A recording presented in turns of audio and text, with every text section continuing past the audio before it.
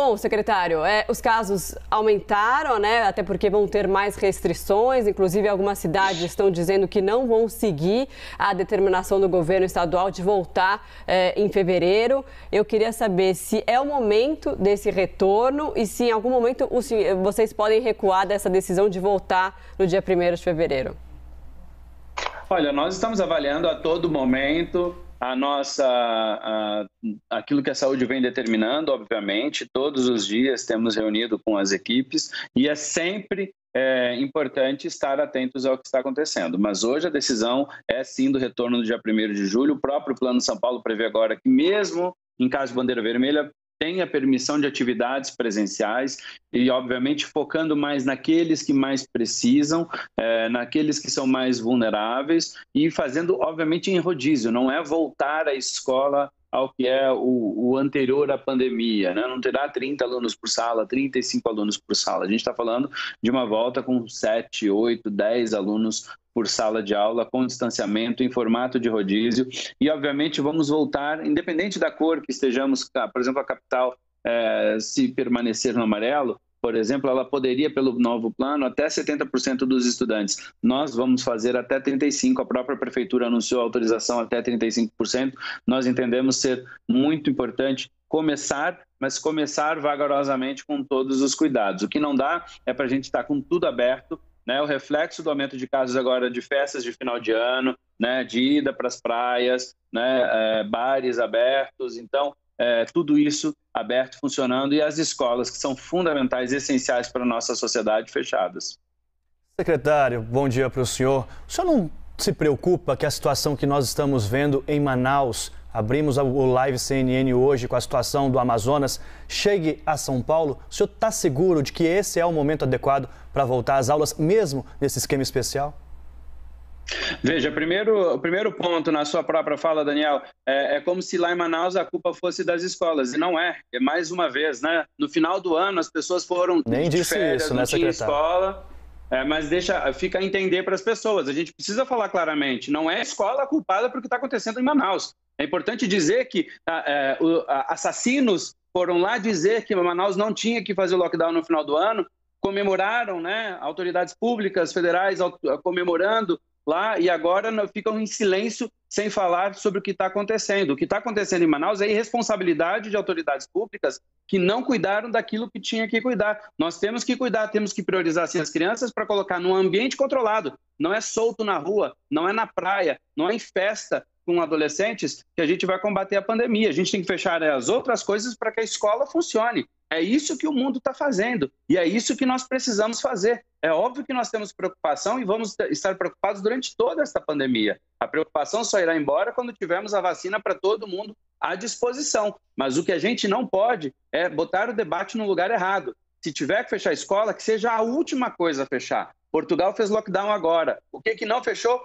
Escola. Todo o resto fecha. A Inglaterra está com as escolas abertas. Todos os lugares estão priorizando a educação com controle, obviamente com ambiente controlado, temos sim condições de funcionar. Mas é, se tivermos que recuar sobre isso, que seja a última coisa, não a primeira.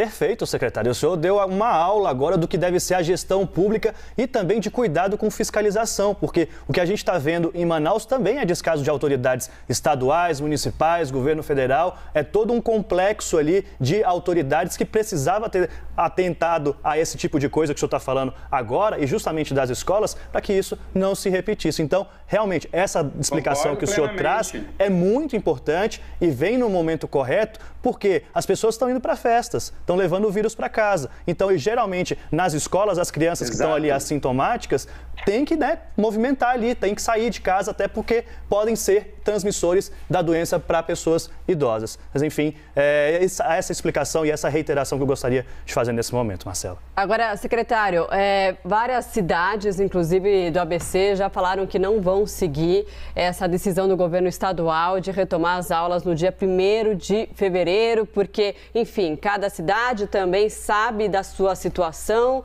do seu problema local, é, da quantidade de leitos, do sistema de saúde e preferem não abrir nesse momento. Os senhores pretendem entrar com alguma medida judicial para que é, essas cidades abram de fato as escolas e que funcione num esquema, claro, especial?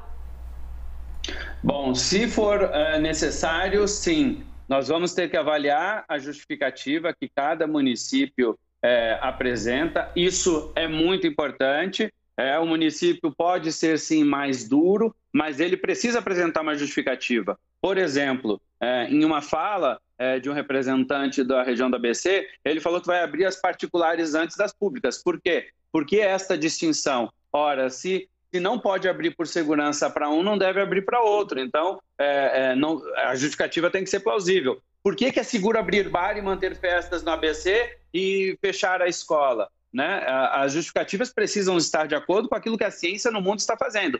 Mas isso, os municípios precisam publicar um decreto com a justificativa do motivo do fechamento, Marcela. E aí sim, nós vamos tomar a decisão, eventualmente, da medida judicial. Nós vamos estar observando cada uma das justificativas de cada um dos municípios em relação a este tema. A gente consegue colocar uma pergunta do Fernando Nakagawa aqui para o secretário?